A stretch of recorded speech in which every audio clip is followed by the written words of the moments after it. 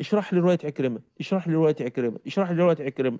وفي الآخر الرواية أساسا لا فيها هدبة والرواية من رواها عكرمة تمام؟ أي نعم ماشي نقلا عن السيدة عائشة ولكن الرواية ما فيها أي شيء. ما فيها أي شيء. والله رواية إنه نزل بعائشة. يا لا ده أنت كده وسعت منك قوي أنت كده وسعت منك قوي أنا بس هقول لك حاجة. أنت حضرتك بتقرأ بتقرأ ال- الحديث من مسلم الا وهو حديث 282 روح اقرأ 290 روح اقرأ الحديث 290 طلعه. يعني شوف الحديث 282 اللي انت بتقرأه واللي دايما نقراه على الناس. روح لل- لل- للرواية. 290 هتلاقي إن في جارية بين الرجل وبين عائشة. جارية. طب يا سيدي خلينا معاك. خلينا معاك نفهم مفهومك أنت. وهعاملك على مفهومك أنت. أن رجل نزل بعائشة يبقى حتما نزل في الدار بتاعت عائشة. طبعا عندكم رواية أن رجل نزل بعائشة. لو جه واحد ناصب آه أن رجل نزل بعلي. لو جه واحد دلوقتي ناصبي وقال لك آه علي خليفة علي خليفة و... يا عم علي وعائشة خليفة إيه يا. عم؟ اسمعني بس. أنت مش أنت بتقول أن رجل نزل بعائشة يعني معناه نزل في بيت عائشة؟ طب ما يا عم نعم. نفس الحكاية. أن رجل نزل بعلي يعني نزل ببيت بعلي يعني نزل ببيت فاطمة. ذكر بذكر ذكر بذكر ما يصير إشكال بينما رجل قريب يدخل على يا عم ما فيش مشكلة. سيب الذكر بالذكر. أن علي نزل بامرأة. عندكم رواية أن علي نزل بامرأة. وأن النبي صلى الله عليه وسلم نزل بامرأة. إيه رأيك؟ تتهم الرسول هيك أنت؟ يا ابني مش اتهام. نزل بامرأة ضيف. الضيف ده ممكن يبقى في الحارة التانية. يعني أنا مثلا لما بروح السعودية أو بروح أي دولة. طيب بعد ما نزل فيها إيش بس، الله سوى؟ يبارك في عمرك الله يبارك في عمرك اسمعني. المسألة أنت تعرف أقول لك حضرتك حاجة. والله الذي رفع السماء بغير عمد هو بيستغل بيستغل جهلكم بالأشياء. وإلا علماءك ياما تطاحنوا مع علماء السنة. ومع ذلك ما فيش واحد أخذ رواية زي دي واستدل بيها. على عائشة أو كفر عائشة أو فحش عائشة والعياذ بالله. رضي الله عنها وارضاها ما فيش واحد من علمائك أتى بالرواية دي واستدل بها على فحشها لأنه يعلم دلالات الكلام يعلم دلالات الكلام ويعلم معاني الكلام. فهو بيستغل إن أنتم مش فاهمين الكلام فبيحمله على غير معناه. دلوقتي لما أنا ألاقي رواية أن علي نزل بامرأة. أن علي نزل بامرأة. تمام؟ فأنت نزل بامرأة أنا هبقى أفسر لك إن هو نزل في حجرة المرأة. هتقول لي لأ. يا ابني أنا بقول لك أنا لما بسافر دورة عربية بنزل على شرف فلان أو بنزل على فلان تمام؟ فاللي بنزل على فلان ده يعني أنا مثلا لو قلت دلوقتي أنا نزلت على شرف مثلا شيخنا عبد الله شيخنا عبد الرحمن تمام؟ هل أنا بنزل على بيته؟ لا والله ده بينزلني في فندق. بس أنا أساسا نازل عليه يعني نازل في ضيافته يعني اللي هو اللي محاسب على الفندق. وخلي بالك؟ فليس معناه أن رجل نزل بفلان يعني معناه أن هو نزل جوه داره أو نزل جوه بيته.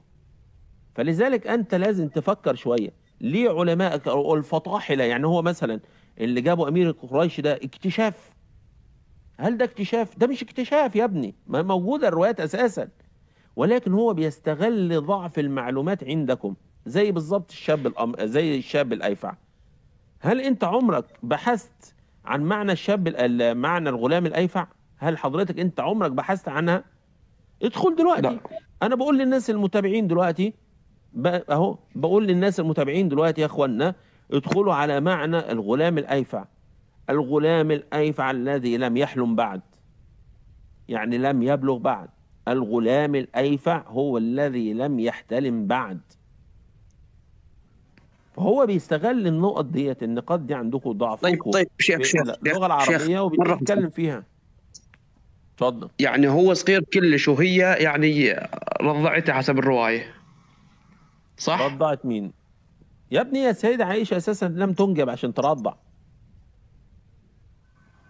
لم تنجب عشان ترضع. أقول لك حاجة. طب ماشي. خليك أنت راجل بص ما شاء الله تبارك الله أنت راجل متفاهم وأنت عندك إنصاف. طيب. تعال أنا أقول لك حاجة. رواية الغلام الأيفع. بس أنا هجيبها بالمنطلق الشيعي أو بالمفهوم الشيعي. أن السيدة عائشة أرادت من هذا الغلام أن يدخل عليها. السيدة عائشة هنفترض دلوقتي أنها تعتقد بالمتعة. تعتقد بالمتعة. خلاص؟ طيب. وتقول بالمتعة. السيدة عائشة أرادت أن يدخل عليها الغلام الأيفع فبعثته. لبنت أختها فتمتع مع بن- بنت أختها فأصبح حراما على السيدة عائشة. إيه رأيك؟ حرام ولا حلال؟ حرام. لا مش حرام. حرام على المرأة اللي رضعتها ابن أختها ما أعرف شو اسمه. أنا ما بتكلمش عن الرضاعة. ركز في على عائشة كلامي لا مو حرام. لا ك- ركز في كلامي. ركز في كلامي. السيدة عائشة الآن تقطع تقتنع وتعتقد بالمتعة. تقتنع وتعتقد بالمتعة. خلاص؟ طيب. فعايزة الغلام ده يدخل عليها. خلاص؟ عايزة الغلام ده يدخل عليها. فبعثته لبنت أختها فتمتع مع بنت أختها فأصبح حراما على عائشة صح؟ لا. لا ليه؟ عائشة عائشة. ليه يا ابني؟ ما هو انت لو تمتع مع بنت أختها يبقى حرام كأنه يعني هو اتجوز بنت أختها فحرام عليها أصبح محرم عليها. إذا هي بعثتها حرام عليها بس هي يعني هو دخل على بنت أختها شو لها هاي أنت؟ أيوه يبقى حرام عليها خلاص لأنه اتجوزها وهي ما ينفع تتجوزه بعد كده خلاص. لو هو متجوز بنت اختها ما ينفع تتجوزه السيدة عايشه يعني ما ينفع خلاص. أصبح محرم عليها يعني ينفع يدخل عليها. أنا ما قاري الروا... هاي الرواية مال الغلام نهائيا أبدا ما قاريها افهم افهم. أنا أنا بقول الكلام ده عشان الناس تفهم. يعني أنا دلوقتي بدلت الرضاع بالمتعة. والله أنت هتقبله. مش هتشوف فيه عيب. مع إن المتعة أساسا مع إن المتعة رضاع وجماع وهو بيرضع وهي بترضع وبيفضلوا يجمعوا بعض. وبعد كده بيسيبها ويروح يجيب واحدة غيرها. لكن الرضاع ده تبقى عاملة زي أمه. يعني تبقى أمه لا بيجامعها ولا بيقبلها ولا ينظر لها نظر حرام ولا أي حاجة من دي. شوف أنت الطريقة دي ما قبلتهاش لكن تقبلها في المتعة. يا اخوانا اللي على التكست فهمتوا المثال عشان بس تبقوا حافظينه. يعني مثلا اللي يجي يقول لك اللي يجي يقول لك إن السيدة عائشة آه، دخلت الغلام والغلام ده رضع من بنت اختها أقول له خلاص يا عم. يعني أنت رافض الصورة دي؟ آه. طب نغير الصورة دي. لو أن السيدة عائشة رضي الله عنها وأرضاها كانت تعتقد بالمتعة وأرادت هذا الغلام أن يدخل عليه فابتعثته لبنت أختها فتمتع معها فتمتع جوزها جواز متعة. هل بعد ما اتجوزها جواز متعة هل يجوز له أن يدخل على السيدة عائشة أم لا؟ شوف الشيعي يقول لك إيه. شوف الشيعي يقول لك إيه. ما يستطيع إن هو ما يستطيع ينكر الصورة ديت. ما يستطيع. ما يستطيع يقول لك إنها حرام. مع إن المتعة أنتوا عارفين أقرأ المتعة. الرواية وأجيك؟ أقرأ الرواية اتفضل. وأجيك؟ اتفضل اقرأ الرواية بتاعت اللبس الأخضر وتعال إن شاء الله. أو ال- بتاعت الخضراء المستعان ما يستطيع والله والله ما يستطيع. يلا. بس هو إنسان طيب والله إنسان يعني هو إنسان أهم حاجة إن الإنسان يفهم يعني.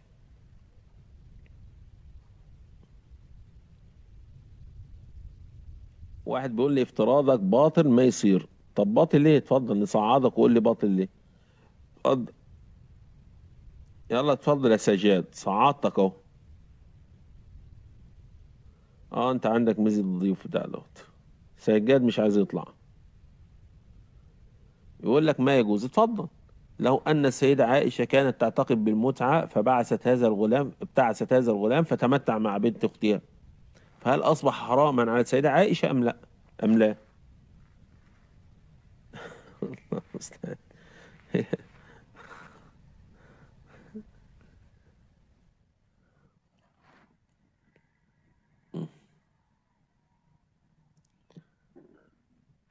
خلاص.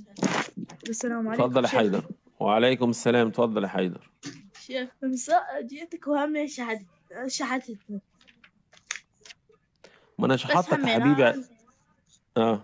شحتت شحتتني. قلت لك احكي لي أبو النبي مح... أبو آه، عمر وأمه. شحتتني. والله آه ما أرجع شحطتك. لهم. فهمت. طيب أنت طالما أنت إنسان محترم أنا أقول لك محترم. بص يا سيدي. أنت لو جالك واحد مش كويس ابن زنا والعياذ بالله هتجوزه بنتك؟ شنو؟ لو جالك واحد ابن زنا والعياذ بالله هتجوزه بنتك؟ لا ما أتزوج طب إزاي والنبي جا- اتجوز من عمر؟ يبقى كده نسب عمر فيه. شيء؟ ما هو لو نسب عمر فيه شيء ما كانش النبي صلى الله عليه وسلم اتجوز بنته صح؟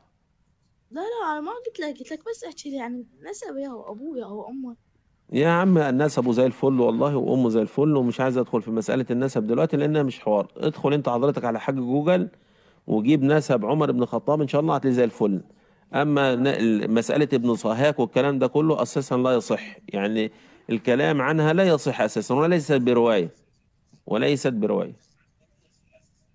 لا يعني أنتم مو يعني يعني ح- أبو أبو هو نفسه جدها لا طبعا. يعني إزاي أبوه ابو نفسه جده يعني. شلون يعني؟ زين ها أو الرواية المزعومة دي يا حبيبي الرواية دي روح اقرا حولها.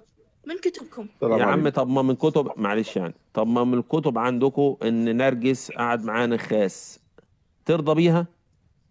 ما هو موجودة بكتبك برضه. وإن السيدة حميدة عندكم جلس ما بين النخاس يعني وحب يجامعها أكتر من مرة يعني. ما دي كتاب من كتب الصقالة تاخد في بيها؟ معرفة الصحابة. كتاب الصقالة في عم معرفة يا عم هو كتاب ده يعني قرآن. روح يلا روح لا يعني من روح يلا روح يلا والله أنت بتفهم. آه، يعني حق- حقدهم على الصحابة للأسف الشديد يعني. أنا يعني عارف أنت الشيعي الشيعي بيظن إن هو لما يطعن في الصحابة فهو بذلك ينتقم لأهل البيت. وما يدري المسكين يعني. حتى كمان أهل البيت والله أخذوا من بني أمية. مش أخذوا من الصحابة بس والله ده أخذوا من بني والله أمية. لا يعني أنت حط أنت حط أنا بقول للشيعي حط نفسك مكاني أنا. لما ألاقي علي بن أما ألاقي النبي صلى الله عليه وسلم جوز المنافق عمر بن الخطاب اتجوز منه بنته. واتجوز من بنت المنافق أبو بكر الصديق يتجوز عائشة. واتجوز بنتين والاثنين لمنافق. طب دي مبلوعة. يعني لا ماشي. اتجوز بص أقول لك حاجة حاجة. يعني اتجوز بنت عمر عشان يتقي شر عمر. ماشي نعديناها مبلوعة ما فيش مشكله. اتجوز بنت أبو بكر الصديق حتى يتقي شر أبو بكر ونفاق أبو بكر الصديق. طب شلون بقى جت نفس النبي صلى الله عليه وسلم إن هو يتجوز بنتين والاثنين منافق؟ يعني واحدة. تموت فيجوزوا الثانية طب شلون دي؟ أنا نفسي أفهمها. آه، دي بقى اللي مش هتدخل عقلي. يا ليت يا, يا شيخ وليد يا ليت إن هالموضوع هذا سهل كثر ما سهل طعنهم في عائشة أم المؤمنين. موضوع والله العظيم يا شيخ وليد جبار جبار.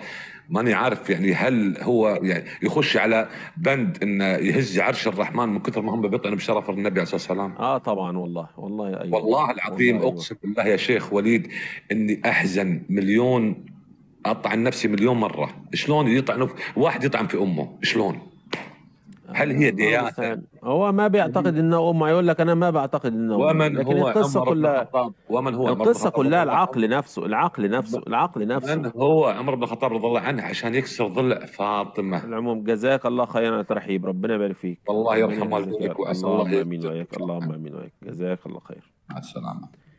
يعني أنا عايزني إزاي أقبل؟ يعني أنت حط نفسك مكاني. بص يا إخوان خلوها كده واحدة واحدة. النبي صلى الله عليه وسلم أخذ حفصة بنت عمر وعمر منافق عند الشيعة. النبي صلى الله عليه وسلم أخذ عائشة بنت أبو بكر الصديق وأبو بكر الصديق منافق عند الشيعة. النبي صلى الله عليه وسلم زوج بنتيه الاثنين لمنافق ألا وهو عثمان. ماشي؟ علي بن أبي طالب جوز بنته لعمر بن الخطاب المنافق. شلون مش مشكلة. علي بن أبي طالب اتجوز مرات أبو بكر الصديق بعدما توفي أبو بكر الصديق وربى ابنه اللي هو محمد بن أبي بكر. شلون برضه نعديها مفيش مشكلة. مفيش مشكلة دي كلها مشاكل بس ماشي عديها. علي بن أبي طالب سمى أسماءه بأبو بكر وعمر وعثمان. إيش يا جماعة الخير هو الرب بتاعكم ده يعني رب موجود كده اسمه الفتان العليم مثلا؟ يعني هو ربكم ده اسمه الفتان؟ يعني ما كانش ليه ينفع أساليب أحسن من كده يبين لنا نفاق أبو بكر وعمر وعثمان؟ يعني لازم النبي ياخد منهم يتجوز منهم؟ يعني لازم علي يتجوزهم؟ يعني لازم علي بن أبي طالب يتجوز مرات أبو بكر الصديق بعد ما ما يموت؟ يعني هو لازم علي بن أبي طالب يسمي بأسمائهم؟ الله المستعان.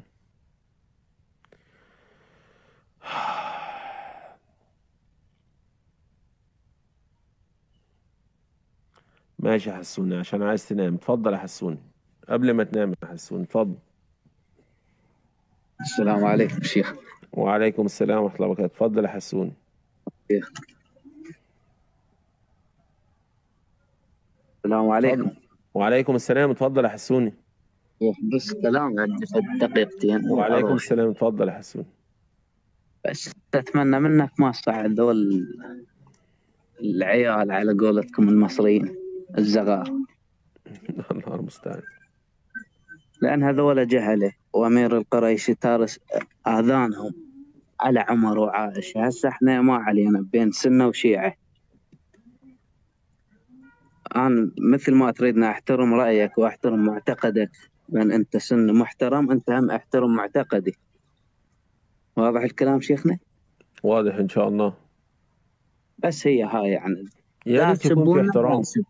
يا ريت بينا وما ندخل بيكم يا ريت في احترام. والله العظيم أنا أحترم كل محترم لكن تصعد واحد دلوقتي تلاقيه جاب سيرة أبوك وأمك واللي خلفوك بألفاظ. يا ريت أنت كمان أبوك وأمك واللي خلفوك ويشتم الصحابة بألفاظ مالهاش لازمة. يعني هي دي تربية ما يصير ما يصير يعني هسه عائشة رضي الله, عنها. هسه شكرا النبي. شكرا يا حسون. يعني مثلا أديني نفذت الطلب بتاعك قبل ما تنام.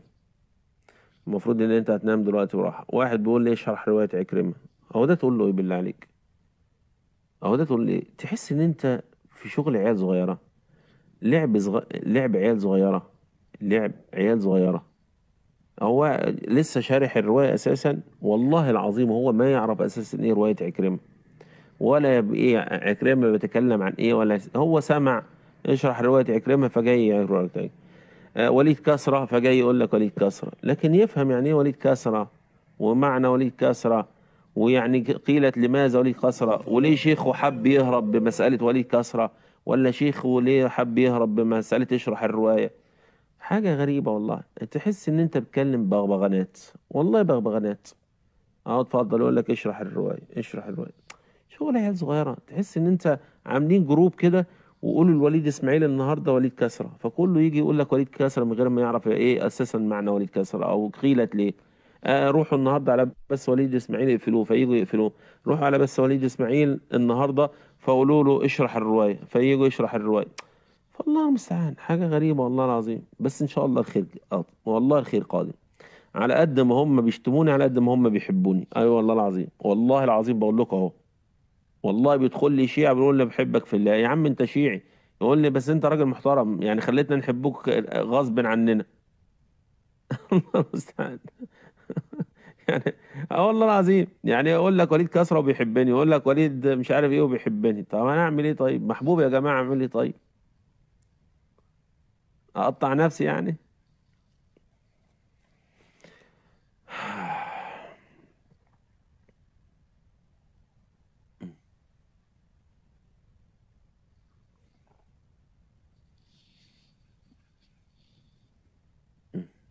السلام عليكم. وعليكم السلام ورحمة الله وبركاته. اتفضل يا بصراوي. شلونك شيخ؟ شلون صحتك؟ والله بخير حال الحمد لله. الله يحفظك. شيخنا بلا زحمة عليك. إحنا آه، بالبداية آه، نبدي كلامنا هو إحنا إخوان سنة وشيعة إخوان إن شاء الله. صح إخوان لو مو إخوان؟ في رأيك؟ اتفضل كمل كلامك وأنا أنت إزاي أعتبرك أخ... أنت أخويا؟ وفي نفس الوقت بتستعمل التقية معايا وفي نفس الوقت بتسبني من ورايا وفي نفس الوقت بتنشر حاجات أنا على ما مذهبي على. ديني طيب. أني أني ما أسبك ما من أخلاقي أسبك ولا مسموح لي أسبك. أنا أحترمك آه، أخ ومسلم أنت. طيب يعني أنت دلوقتي أخويا وإحنا كلنا مسلمين زي بعض زي ما أنت بتقول. واخد لي بالك؟ بلي ماشي. أديك تيست صغير اختبار صغير. تمام؟ بلي لو طلع لك لو طلع لك ابن لو طلع لك ابن هتعلمه أن. الخليفة الأول هو عمر آه، أبو بكر الصديق ولا تعلمه أن أولى بالخلافة هو علي بن أبي طالب وأن الصحابة علي بن أبي طالب أكيد. طب خلاص يبقى بقى ما تقوليش بقى أنت أخويا بقى وإخواننا وإحنا واحد وإحنا مش عارف إيه. شفت بقى أنا شفت بقى طلعت التقية منك إزاي؟ بسرعة الصاروخ إزاي؟ الله المستعان الحكاوي دي بلاش منها. يعني أنت ابنك أساسا هتعلمه الطائفية من صغره ولما إحنا نيجي نقف قدام الطائفية تقول لك أصل إحنا إخوة. أصل السنة إخواتنا وبعدين ما تنشروا دينكم إلا عند السنة يعني إلا في بلاد السنة. يعني يقول لك إحنا إخوة وإحنا مش عارف إيه والسنة دول أنفسنا. وما تلاقوش أساسا بينشر التشيع إلا في البلاد السنية.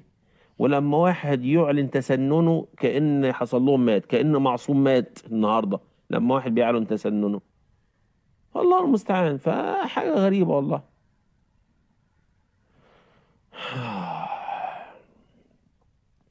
طيب يا اخوانا نقول سبحانك اللهم وبحمدك نشهد أن لا إله إلا أنت نستغفرك ونتوب إليك.